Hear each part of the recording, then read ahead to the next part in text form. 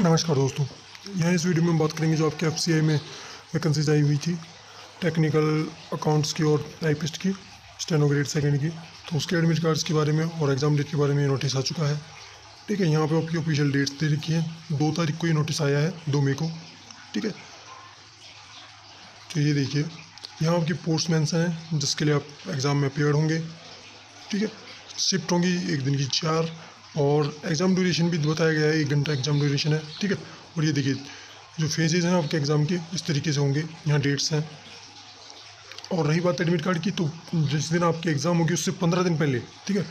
यहाँ लिखा हुआ है, आप ऑफिशियल वेबसाइट पे डाउनलोड कर सकते हैं पंद्रह दिन पहले अपना एडमिट कार्ड यानी कि आपके एग्ज़ाम जैसे मान लीजिए कि तीस को है तो आप पंद्रह के बाद कभी भी डाउनलोड कर सकते हैं अपना एडमिट कार्ड इस वेबसाइट के लिए बने रह सकते हैं आप, ठीक है?